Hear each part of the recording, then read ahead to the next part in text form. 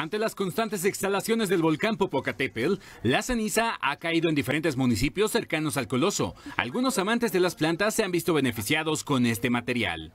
Principalmente obtenemos de ahí fósforo, calcio, magnesio y un macronutriente muy importante que es el potasio. El potasio es uno de los principales nutrientes para las plantas para que eh, refuerce el sistema inmunológico de ellas. Así como nosotros tomamos vitaminas, bueno, las plantitas también requieren ciertos nutrientes que son necesarios para su floración.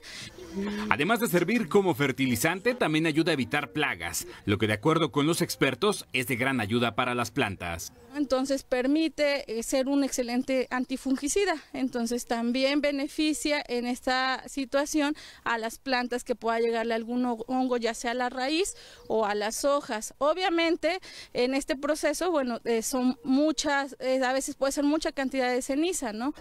Para quienes realizan composta, también han encontrado una opción para enriquecer la tierra de sus plantas. Para las plantas porque pues da nutrientes a, las plantitas y pues así pueden este pues crecer más. Y pues con esto no puede es mejor porque ya no usas como tóxicos o pesticidas químicos y pues ya tienes una vida saludable. Para tener un mejor este, crecimiento en las plantas y tengan buenos nutrientes y puedan mejorar este y consumir estas hortalizas y plantas.